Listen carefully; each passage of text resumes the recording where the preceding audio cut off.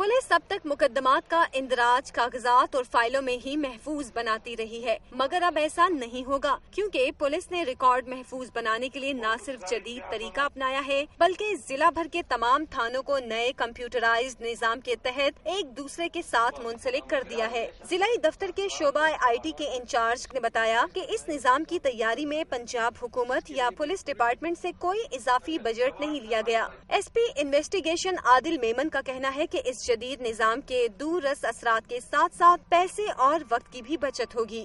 اس system کی خاصیت یہ ہے کہ اس میں ہمارے پاس جنوری دو ہزار بارہ سے لے کر آج تک کوئی بیس ہزار ایف آئی آر ہم لوگ کمپیوٹرائز کر چکے ہیں۔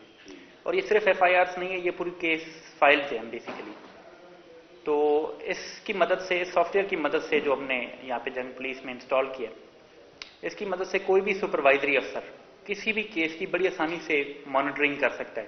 S P investigation Adil Memon کا کہنا ہے کہ دوسرے اضلاع کی پولیس بھی اس نظام سے منسلک ہونے کے لیے رابطے کر رہی ہے۔